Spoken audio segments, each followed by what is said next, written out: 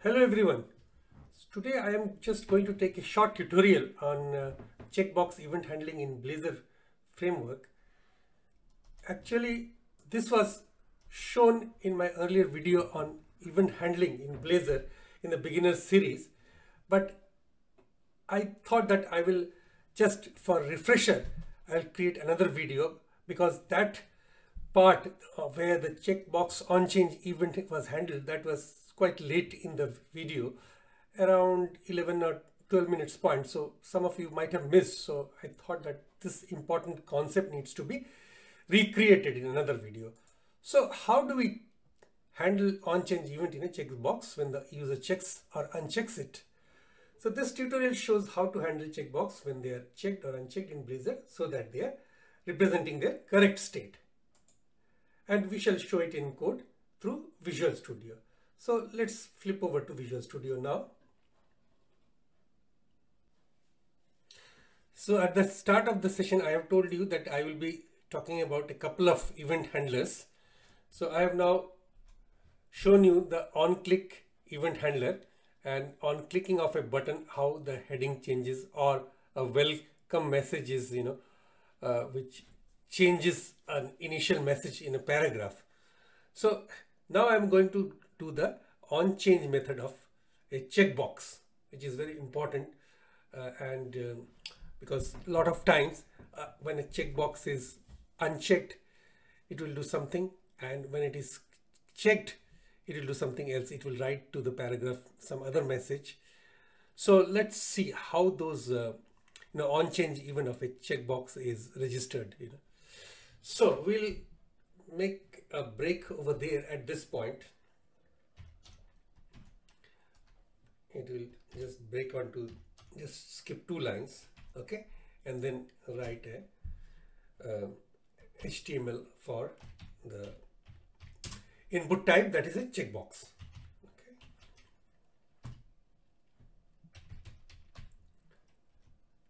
Checkbox.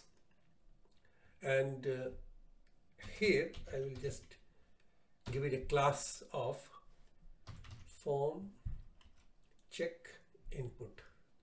Something like this.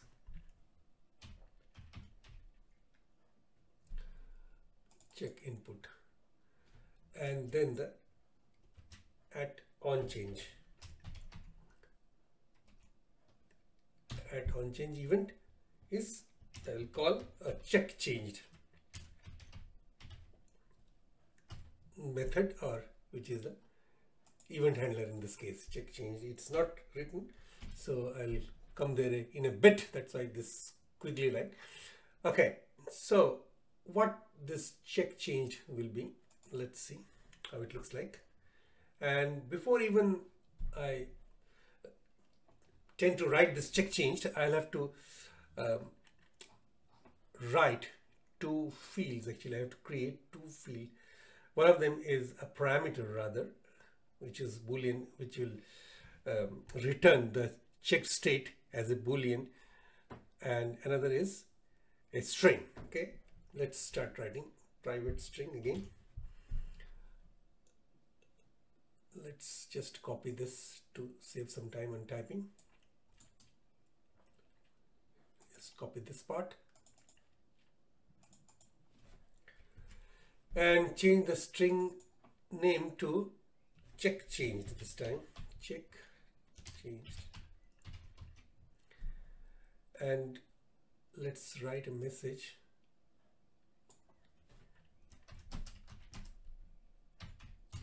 I am not checked. Okay? And then there is a parameter for two-way binding and what are the parameters? Parameters are just like you know public properties. So prop tab tab and this time this will be just a bool boolean type public property. And the name of the public property is is checked. All right so is checked. Get set. The initial value is true. It's set to be true. To start with. Right, then let's come to the check change method at the last. So again, private void returns nothing. Now this check change method has to match with this event handler or delegate type, you can say type delegate and then within the curly braces I'll have to fill it in. So I will now use the boolean this um, state of this boolean. If so is checked. So if is checked is true that means the um, checkbox is checked. We will write check changed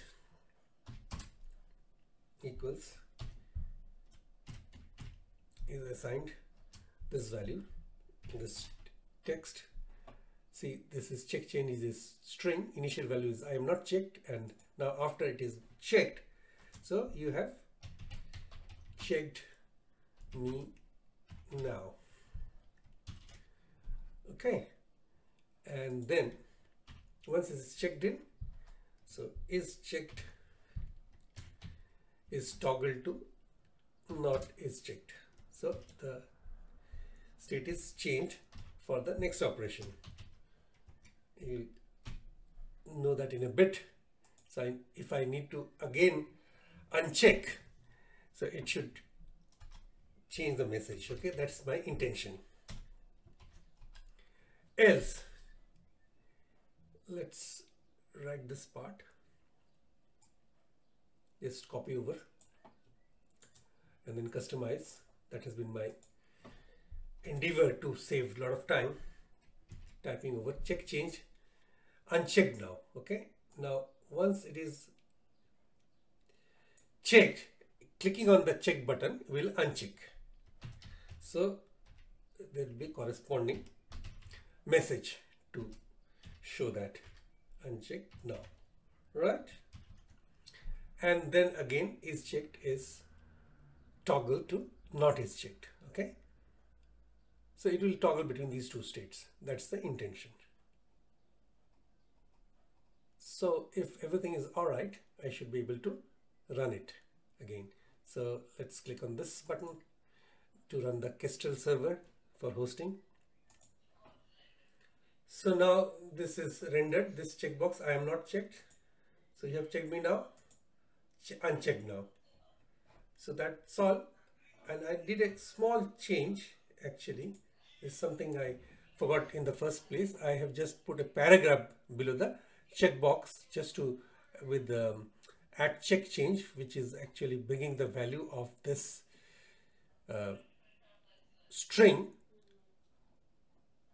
from this check change event handler. So that's all.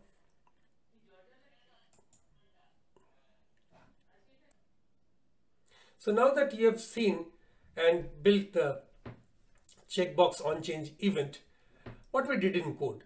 So this is what we did in code. We made an input type of checkbox with a particular class form check input and we created an on change event and it is bound to the check changed. Check change is the method or event handler which is the C sharp method that we are going to write. So in a paragraph later on we have um, called this check changed uh, and this paragraph this paragraph is actually a paragraph which was put where actually check change state would be written so this uh, I have now declared in the at code section a couple of uh, fields. The one is the string field check change, which has got initial state, initial value of I am not checked, and then there is a parameter which is uh, public property is checked, which is actually tracking the whether it is checked or not, and give it a uh, assigning the boolean of true or false value. So what is there in the check change? So, so if is checked, if um, the checkbox is checked, the check changed string will be assigned a value. You have checked me now and it will toggle the is checked boolean to a not is checked. So it is just to reset so that it is ready for the next clicking.